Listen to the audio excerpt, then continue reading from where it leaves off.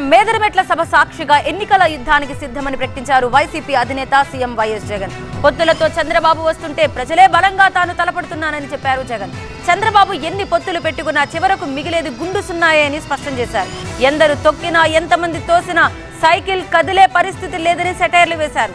సిద్ధం సభలో జగన్ విసిరిన పొలిటికల్ పంచులను ఒకసారి చూద్దాం.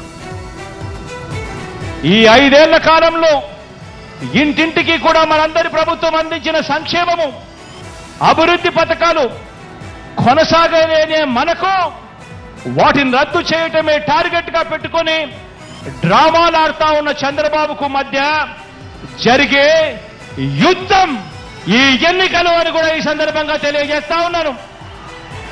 ఈ యుద్ధంలో పేదలు ఒకవైపున ఉంటే పెత్తందారులు మరోవైపున ఉన్నారు.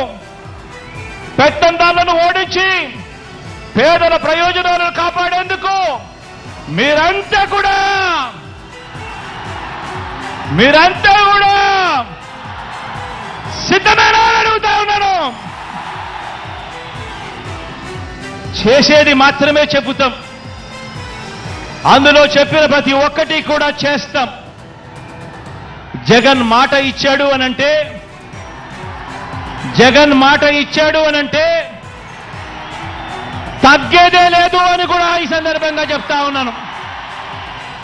చంద్రబాబు నాయుడు గారి మేనిఫెస్టో తాజా మేనిఫెస్టో వాగ్దానాల విషయానికి వస్తే నరకలోకానికి నారాలోకానికి రమ్మంటే ఎవరు కూడా రారు కాబట్టి ఎంట్రన్స్లో స్వర్గం చూపించి లోపలికి వెళ్ళాక మోసం చేసి నరకం చూపించే మార్కెటింగ్ టెక్నిక్ చంద్రబాబు నాయుడు గారికి అలవాటు.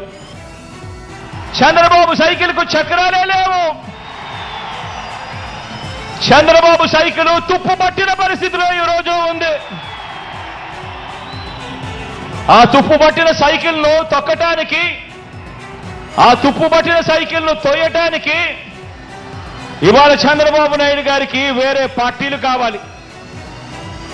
ఇది చంద్రబాబు నాయుడు గారి జాబ్ రిక్వైర్మెంట్.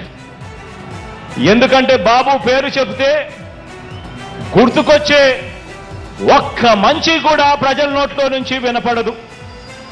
చంద్రబాబు పేరు చెబితే గుర్తుకొచ్చే ఒక్క స్కీము కూడా ప్రజల నోట్లో నుంచి వినపడదు కనిపించదు. అలాంటి బాబు ఎంతమందితో పొత్తులు పెట్టుకున్నా ఇలాంటి ఈ చంద్రబాబు ఎంతమందితో కూడా పొత్తులు పెట్టుకున్నా కూడా ఈ చంద్రబాబు నాయుడు గారి పరిస్థితి సున్నా.